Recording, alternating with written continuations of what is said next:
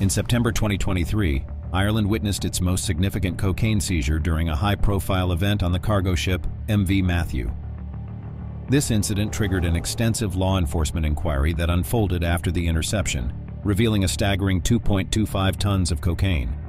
Subsequently, authorities apprehended nine individuals and interviewed all 25 crew members.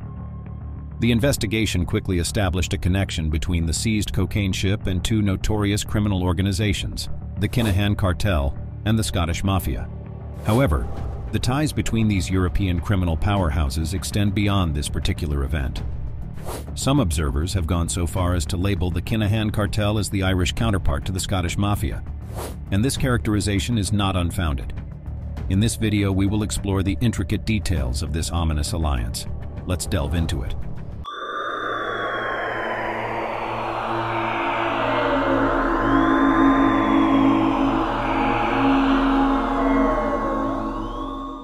Over the past two decades, Christy Kinahan, with his sons Daniel and Christopher Jr., and a formidable armed group, has significantly expanded their illicit activities beyond Dublin.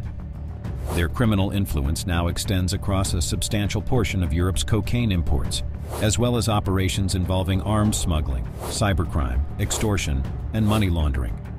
Their clientele includes Mexican cartels, Asian jihadists, and, more recently, Iran's intelligence services. The Kinahans have also entered into dealings related to military technology and aircraft, further solidifying their presence in a network of nefarious enterprises. Establishing themselves as key facilitators in the criminal underworld, they serve as intermediaries connecting South American suppliers with European buyers. Their methods closely resemble those uncovered during the interception of a cocaine shipment off the Cork coast, where the Kinahans collaborated with the Colombian drug cartel El Clan del Golfo. While suspicions suggest the Scottish mob's involvement in managing the European leg of the operation, the Kinahan cartel's ties to organized crime in Scotland add complexity to the investigation. Notably, Daniel Kinahan's associate Sandra Vaughan, former CEO of MTK Global, a boxing firm linked to Daniel, has a history with Scottish drug dealer Kevin Kelly. As the intricate web is unraveled, deeper connections between the Kinahan cartel and Scottish organized crime emerge. Kevin Kelly initially entered a business partnership in a Marbella construction venture with the Kinahans, but their association took a dark turn with the discovery of a thwarted kidnapping plot in Spain. Simultaneously, the U.S. Department of Treasury accused the Kinahan gang of using the Glasgow-based vodka brand Nero Drinks as a front for laundering drug profits. Led by Johnny Morrissey with his wife Nicola as the primary shareholder, Nero Drinks appeared innocuous but concealed a more intricate nature. Morrissey, deeply involved in organized crime and considered the Kinahan's chief financial facilitator, was arrested in September 2022. Following his apprehension, Spanish authorities dismantled Europe's largest Hawala narco bank, recognized for its extensive involvement in money laundering operations. Morrissey is suspected of annually laundering around 300 million euros from drug proceeds, cleverly channeling the funds into cryptocurrencies. A closer examination reveals the Kinahan cartel's significant infiltration into Scottish society, utilizing it as a laundering hub for the proceeds from their illicit transactions. In Glasgow, the criminal landscape is defined by two rival families, the Daniels and the Lyons, entangled in over 70 territorial conflicts as they fiercely compete for dominance in Scotland's drug market. The Lyons family, in particular, has gained notoriety for engaging in various criminal activities, including drug trafficking, extortion, violence, and organized crime, making them one of the most influential criminal forces in Scotland since the 1990s.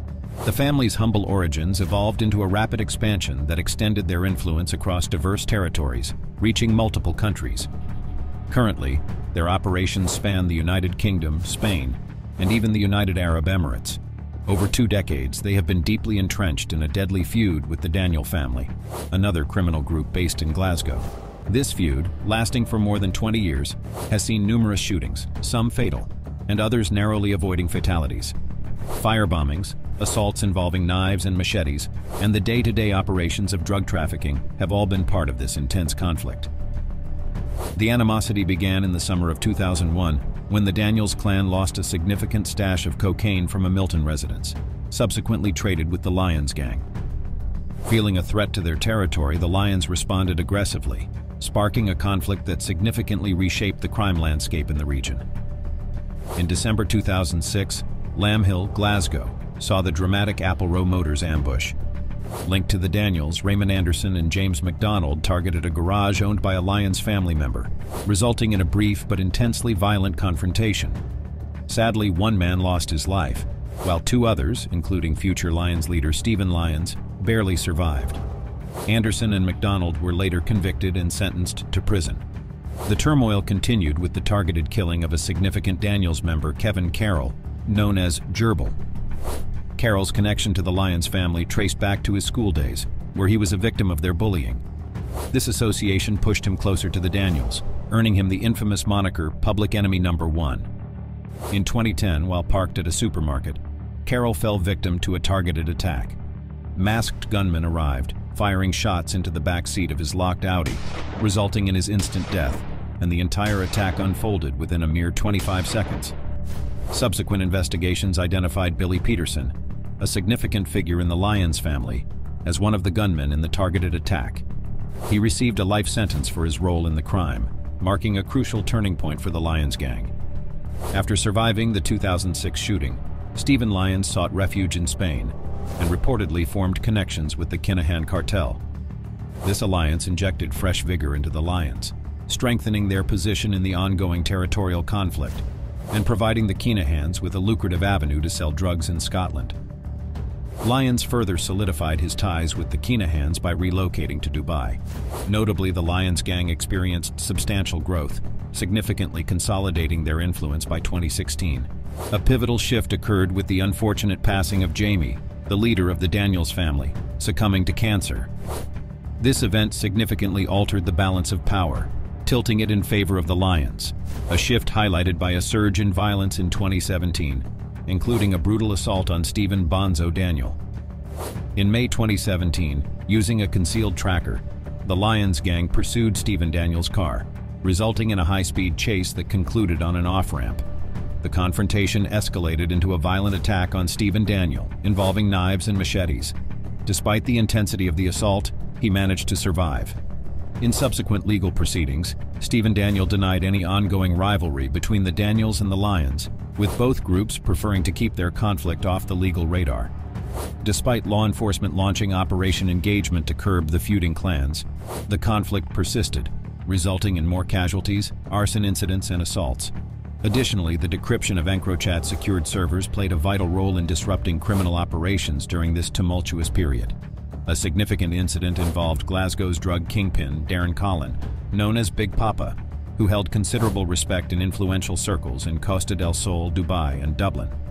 His robust connections extended to both the Lyons Gang and the Kinahan cartel. Big Papa's methods in Scotland earned admiration even from the upper echelons of these criminal organizations. The drug kingpin faced an eight-year jail sentence after police cracked an encrypted phone, linking him to a 1.3 million euro stash of heroin and cocaine, along with a substantial amount of cash.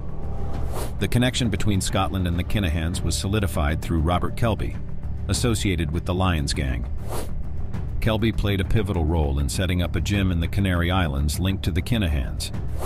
Despite surviving three assassination attempts, Kelby frequently appears alongside Tyson Fury, also connected to Daniel Kinahan.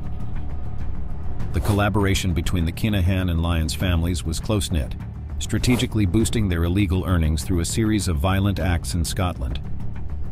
However, with the Irish mob placed on the U.S. Most Wanted list, the Kinahans have distanced themselves from various affiliates, including the Lyons. This distancing leaves the latter vulnerable, especially with a $15 million bounty hanging over the Kinahan cartel. The increased pressure has shifted focus to Scotland's underworld, and Glasgow, already holding the unsettling record for the highest number of drug-related deaths in Europe, becomes a critical center of attention. The ongoing feud between the Lyons gang and the Daniels clan has transformed Glasgow into a hub for criminal activity. This situation is further compounded by the potential halt in the supply of high-quality narcotics to the Lyons if the Kinahan cartel severs ties. Such a move could potentially plunge Scotland's criminal landscape into even greater chaos. That wraps up today's video. What are your thoughts on the topic discussed? Share your opinions in the comments and don't forget to like the video and subscribe to our channel for more upcoming content.